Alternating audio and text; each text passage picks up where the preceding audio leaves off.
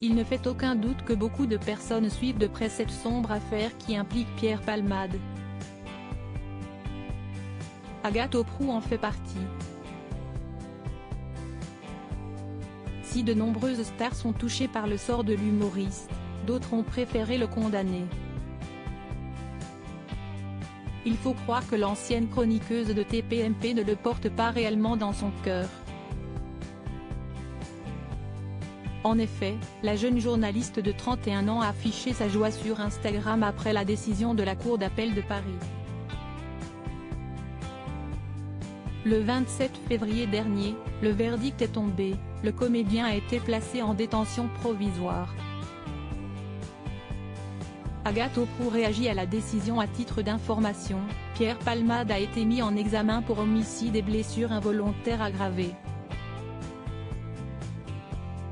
L'acteur de 54 ans est en effet à l'origine d'un accident de la route survenu en Seine-et-Marne.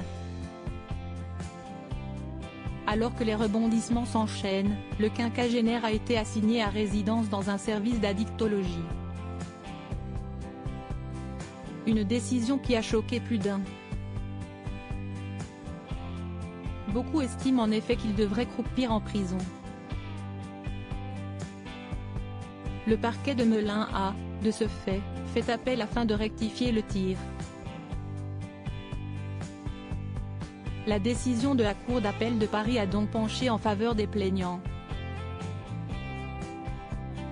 Ainsi, l'acteur, testé positif à la cocaïne au moment de l'accident, a été placé en détention, et ce, au plus grand bonheur d'Agathe Oprou. L'ancienne protégée de Cyril Hanouna s'est en effet exprimée via une story Instagram. Le moins que l'on puisse dire, c'est que la jolie brune est soulagée. Agathe Oprou Instagram y a enfin une vraie justice pour rappel, Agathe Oprou demandait que l'ancienne amie de Michel Larocque passe un séjour derrière les barreaux. Une requête partagée par de nombreux internautes. En effet, les twittos se réjouissent aussi de la décision de la justice. Ils se sont alors exprimés sur le réseau social à l'oiseau bleu.